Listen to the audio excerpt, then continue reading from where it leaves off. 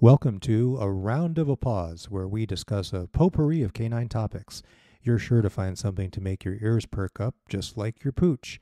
Your host and canine instructor, Janine Smith, educates both dogs and humans. Today's podcast barks about to spay or not to spay. That is the question.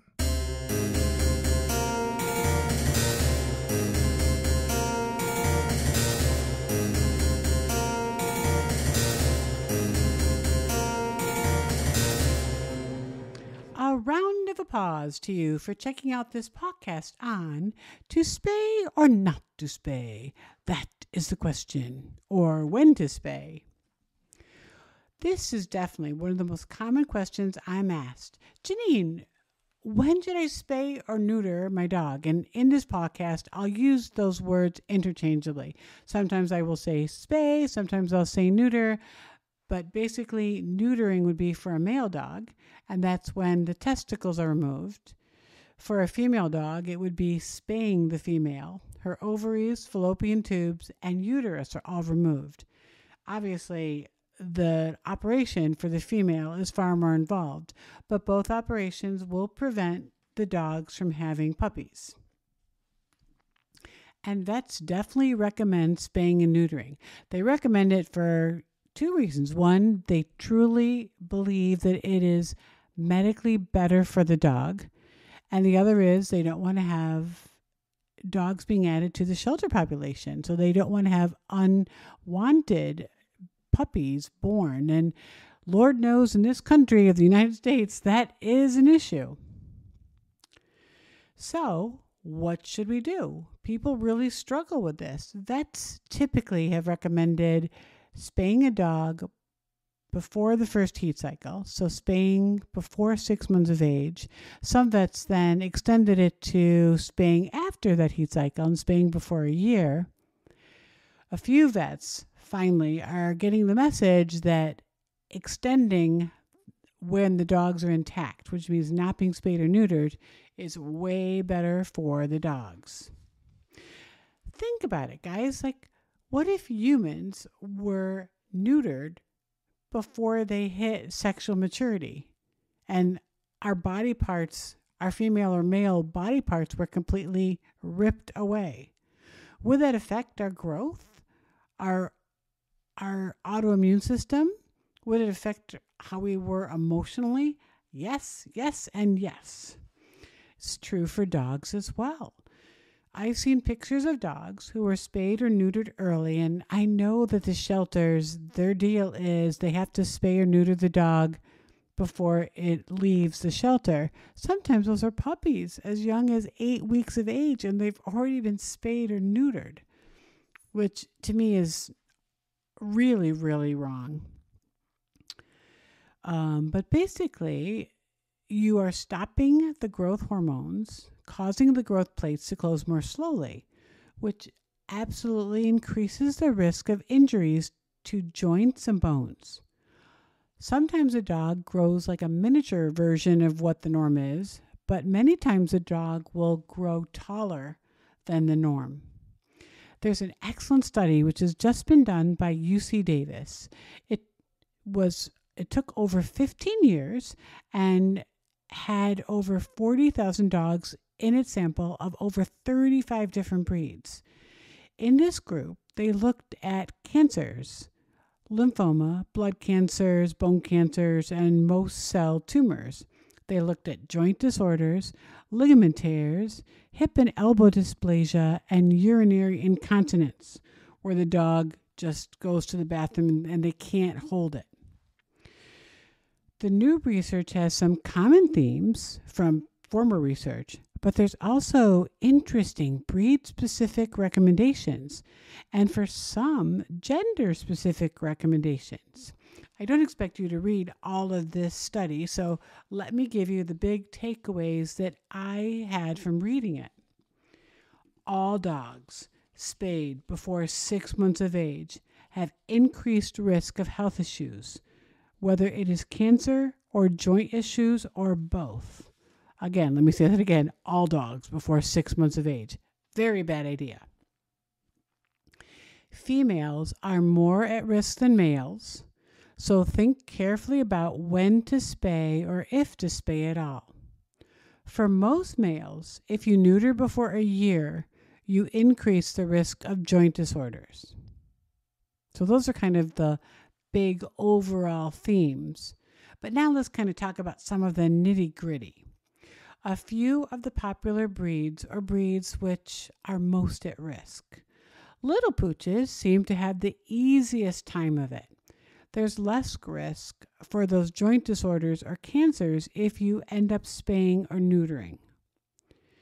Exceptions are male Boston Terriers and male Shih Tzus. There is a significant increase in cancers with neutering at any age, so it is not recommended that you neuter Boston Terriers or Shih Tzus. Boxers and Golden Retrievers appear most at risk if you spay or neuter. Both breeds are very susceptible to cancers.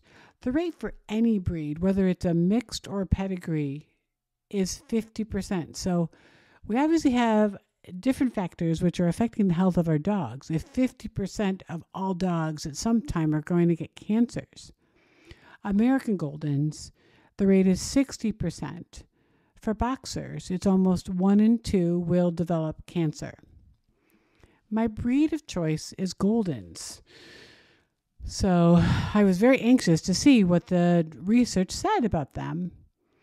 And I have to admit, I felt a little sick and very guilty with what the research shows for spaying or neutering Goldens.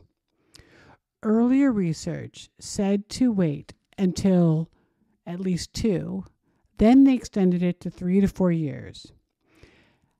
I have four Goldens, which some of you may know if you followed my podcast or know anything about me.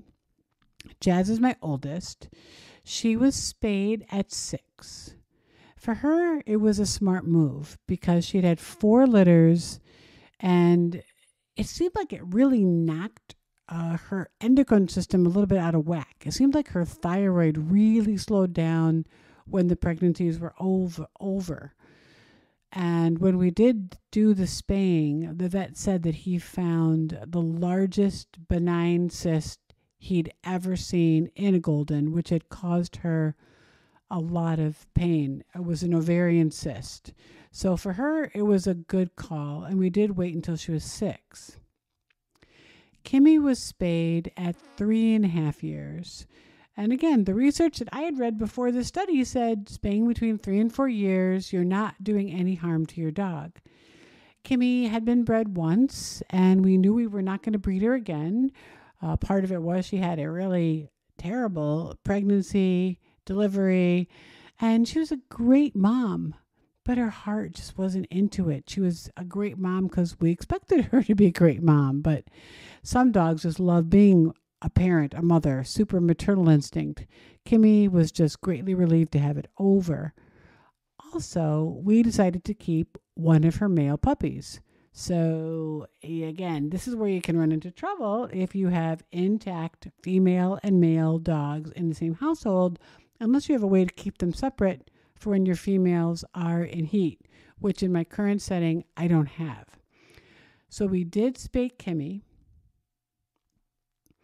The sad thing, though, is that the research on Goldens, according to the studies, shows that Goldens are basically the only breed that they recommend never spaying their females.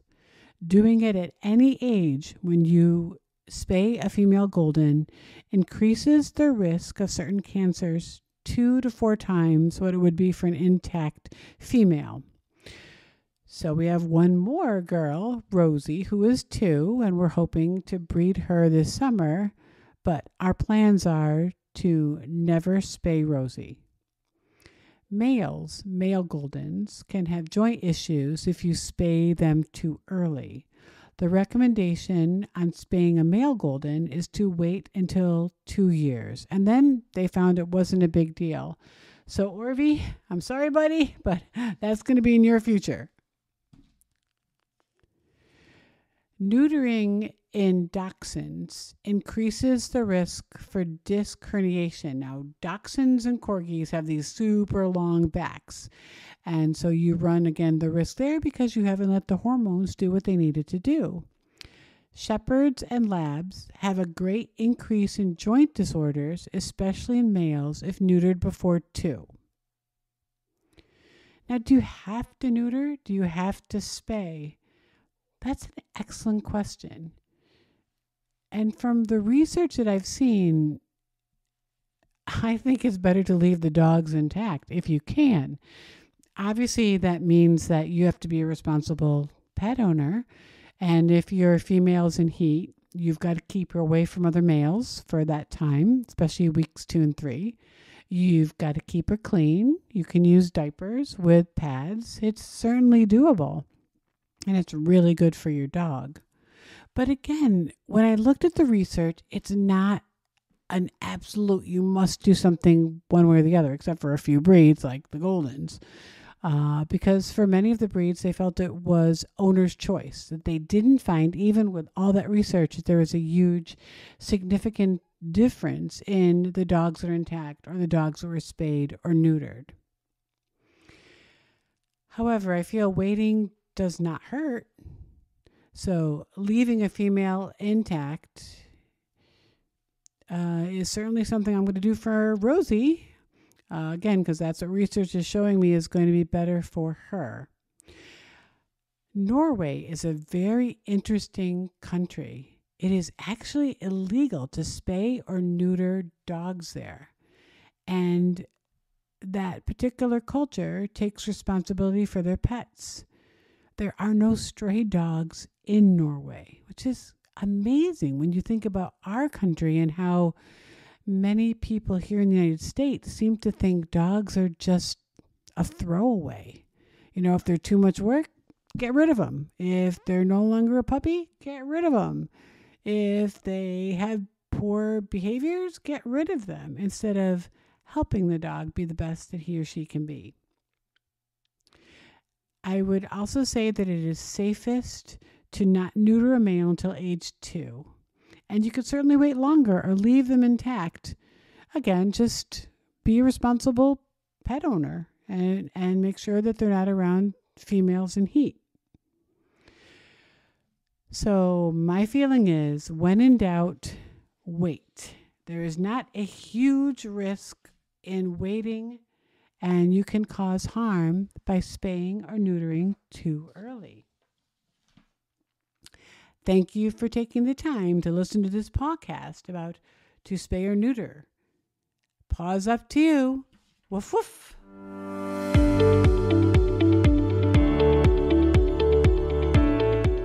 Thanks for joining us for another episode of A Round of Applause produced by EduPups. You can join the EduPups community by checking out blog posts at edupups.com. Find us on social media too. We're at EduPups4 on Instagram, at EduPups on Facebook, YouTube, and TikTok. You can write Janine at janine at edupups.com. She would positively love to hear from you. A Round of Applause is copyright 2023 EduPups LLC. Let's keep those tails wagging.